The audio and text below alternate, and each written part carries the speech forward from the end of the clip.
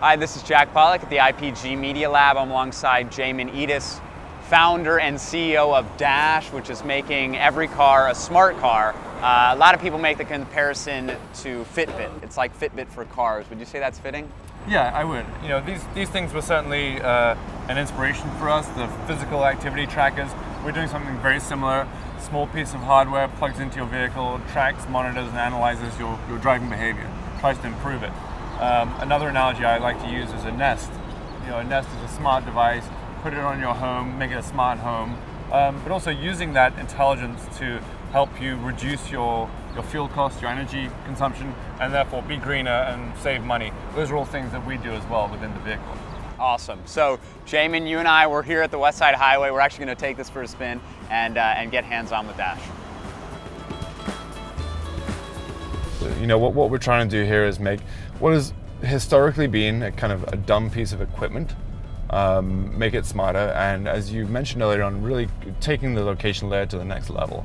And you know, we've, we've often referred to what we're doing as, as building a, a connected car platform, and from a data perspective, creating what we call the automotive graph right? So people call Pandora the music graph, they call Facebook the social graph, Wikipedia the, knowledge graph. So we're creating what we call the automotive graph.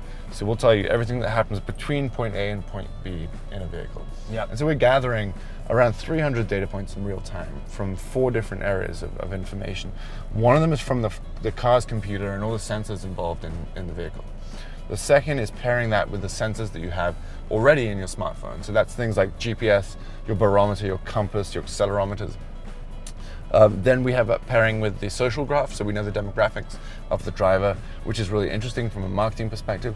Uh, and then finally, we pull in um, what we call ambient information to do with the trip. So, getting uh, information about the weather, about the traffic conditions, about the businesses that you're driving past. All of those really add depth and breadth to the to the data that we're gathering uh, around driving as a behavior. We, we always were attracted to this idea of gamifying the driving experience. You know, we looked for inspiration um, for things like uh, the Nike Fuel, those fuel, fuel points you get for exercise. And so we created this score for Dash. It's out of 100. Um, and that takes in lots of positive and negative signals on your driving behavior. So we look at things like are you speeding? Are you hard braking? Are you over accelerating? Um, are you using your phone while you're driving, which you shouldn't be doing? Um, are you idling? What's your fuel efficiency? So you pull in all these different variables and you weight them and you distribute them. And we looked at things like credit score distribution um, to try and come up with a smart way of scoring your driving. So mm-hmm. at the end of each trip, we push you a notification and we tell you, did your score go up or down and what was the reason?